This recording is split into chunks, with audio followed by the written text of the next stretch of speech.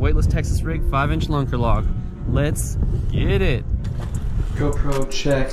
Got my extra batteries on the portable charger, sweet. Got the Subaru, you can barely see, um, but we need we need a couple more things. We need this. Got it.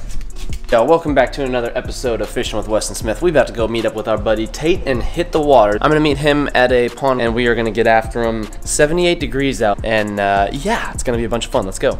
So, we just got here. Uh, Tate has rolled up.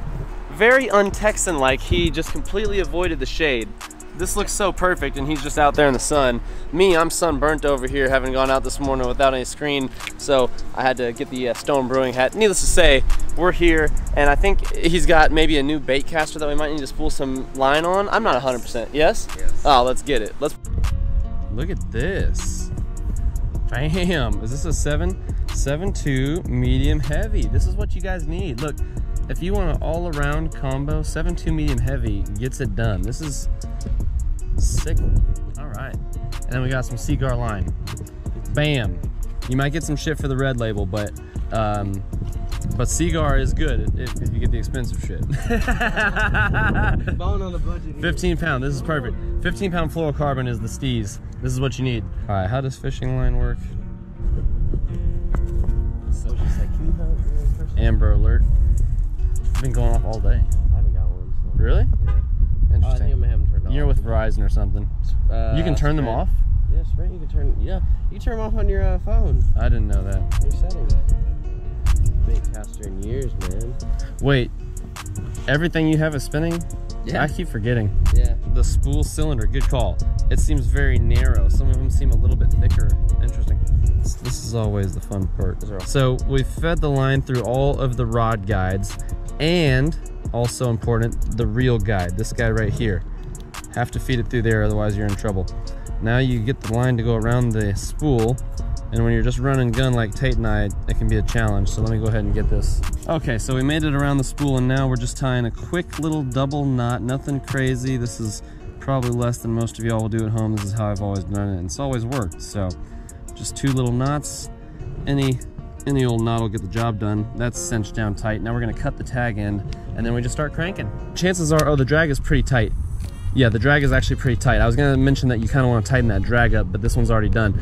So this one is just very simple. It's like already, see how the, see how the line is kind of fucked, it's all loose? Mm -hmm. You don't want that. So the way to avoid that, you guys, from your line getting on the spool very loosely, is you, you hold the line with like a little bit of tension out here. You know, it doesn't have to, it could be anywhere. It could be right here. You can go further up. That doesn't matter. Just hold the line with a little tension in front of the reel, then start cranking. And now look at how smooth it's going on to the spool. Please observe. Now it's going on the spool nice and tight. All right, let's crank, crank, crank. Let's try and burn Tate's fingers.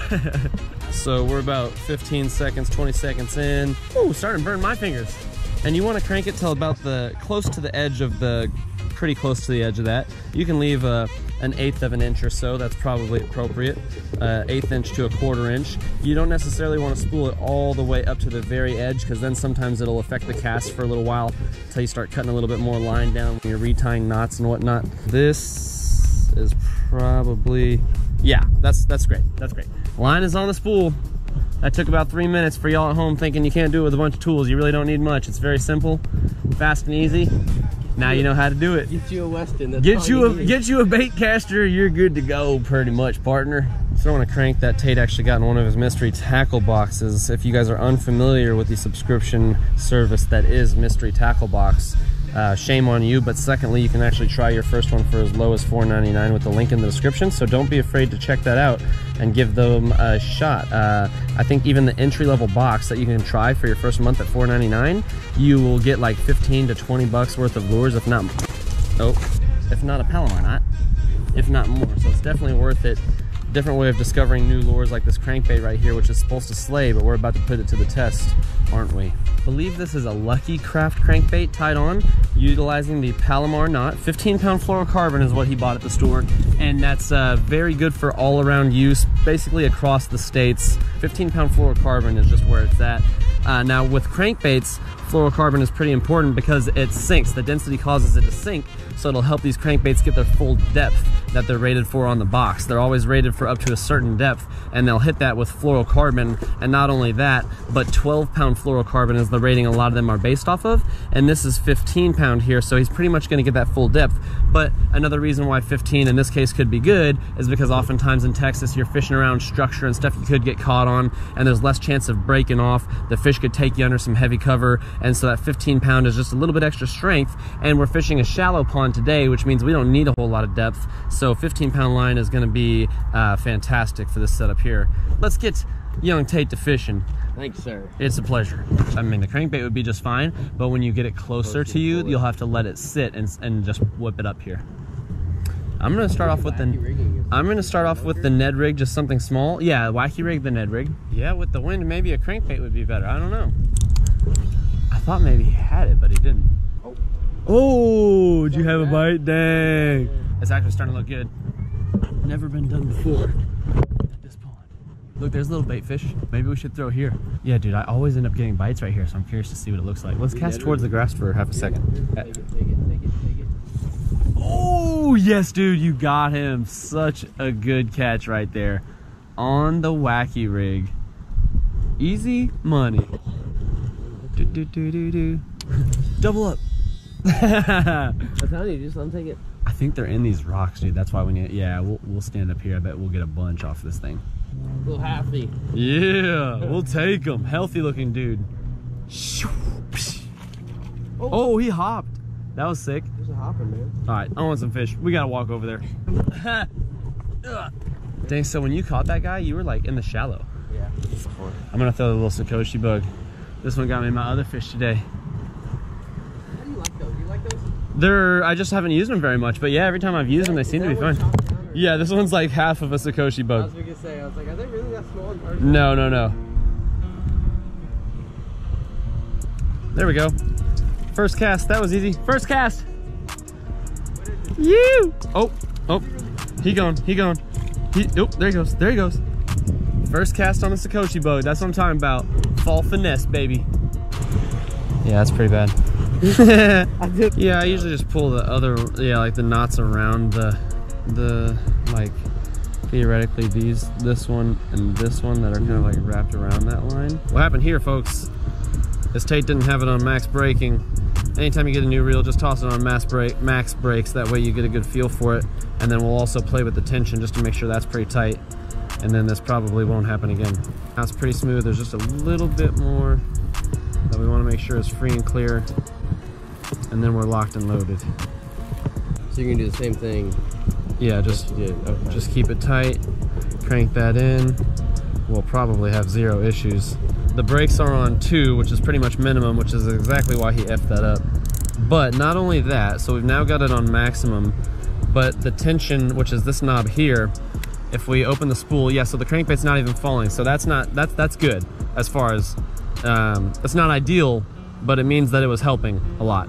So we'll loosen that until the crankbait starts to fall slowly. When the crankbait starts to fall slowly, that is uh, where you want it. So that's that's appropriate for uh, optimum casting distance, yet the right braking. So now I'm gonna drop it down a little bit because his treble hooks, oh, they were messed up and then I just, I flipped it loose, but the treble hook was around the nose. So now he's on max braking and the uh, tension's right. So, oh, it's still, it's still loose. Okay, so that all, all you gotta do is just make sure you use your thumb. So let me bring it back in. So even on max brakes, let me tighten the tension up a little bit more actually. Maybe that, maybe that's better. Just a little bit. Let me try it again. There we go. That was pretty good. Okay. Um, it should be as dialed in as it's gonna get. But if you cast it and you don't like fling it really hard, like you're just casting it, and you want to go not too far, just be aware and use your thumb a little bit, like lightly, Mm. and it'll be good to go. Oh, I just got a bird's nest on the DC because I hit the wall. Just talking about this, dang it. Yeah, the SLX DC can't protect you from being an idiot and hitting walls. Dang it, this is my first bird's nest on this reel. Like, bad one. I've gotten a couple where I've like had to pick out a couple pieces, but it's nothing like this. I hit this concrete wall when I cast it and it just went doink and totally messed up the momentum. Tate just got a hog on the crank, boy. I was right there too. Yeah, usually they'll chase it up and kind of hit it at the bank. Charlie done got off the hook. nice. First one on the new bait caster and the mystery tackle box crank. And he's off to the races.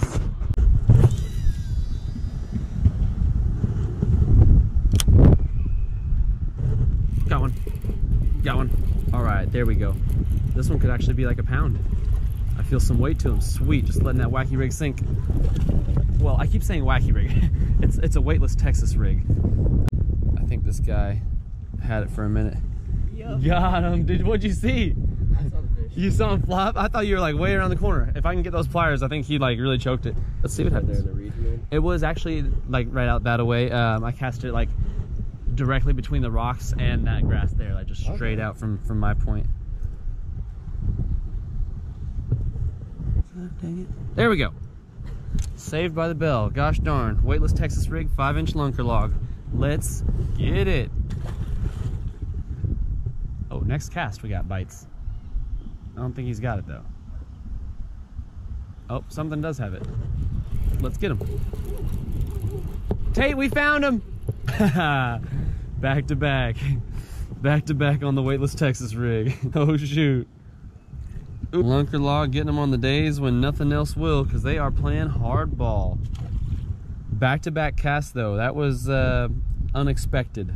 I think every time I've said, can we go three for three, we never do. So let's see if we can break the curse. In position. Now the key is don't with it. Don't reel, don't pop it. Just let the fish eat it. Gotta fish slow when they're in this type of mood. Unless you're Tate and you're catching one on crankbaits. Yeah, so for me, they've been getting it on the drop pretty good. So I didn't go three for three, but I feel like me popping it along the bottom nice and slow is just not getting anywhere. Oh, that was way to the left. Let's retrieve that. And so what I'm thinking is I just need to cast it, let it drop, and then if they don't bite it within like the first 30 seconds, just reel it back in and recast it. Because what I seem to be noticing was like those two that hit in a row, I think were both like right after I cast it as it was making like its initial descent. So I think they like it at like a certain height, like maybe they're s- hanging out at a certain depth. And then like once you get down to the bottom, it doesn't seem like maybe they're not really looking down today. Devin's calling. I think we're gonna have to go see the Joker soon, so I might have to even split her. I go see the Joker. Yeah, I haven't seen it. It's got good reviews. Oh, oh, you're on right now. He's got one. He's got a big one. What I do is I pull a little line. Well, let me open this up just for a second. Okay, uh, I pull a little line and I bend it. Then as soon as I release that, I also release this tension and it gives it like a little extra slack. Yeah. And sometimes you have to do it a few times in a row, but it freed it. And it, it doesn't always work. But I hope like, you were filming. Oh yeah. Oh, I, I don't know. Maybe I wasn't. Yeah, I was. It doesn't always work, but like it's it's usually pretty good. God, this feels weird. A right-handed spinning reel. Oh, so awkward. lefty? You can you can switch it. Yeah, I well, it's not it. that I'm left, but every time I've used a spinning rod, it's on the left. So this is just very different. All right, guys. Well, that about sums it up. A couple fish apiece. They hit the wacky rig, the Sakoshi bug, if I'm not mistaken, the weightless Texas rig with the lunker log. They hit the. Did you throw the? Mystery Oh, there was the. It was the MTB crank. It wasn't Yeah. even the lipless. He was throwing a lipless for a little while and didn't get anything. Then switched over to the wacky rig. You didn't get anything on the wacky rig either. The one. You the did. Lunker log, yeah. All right. So Uh, watermelon red flake. two apiece. Watermelon red flake did the deal. Uh, till next time, you ready for uh, some more fishing? Of course. All right. Let's get after it. Till then, y'all. Peace.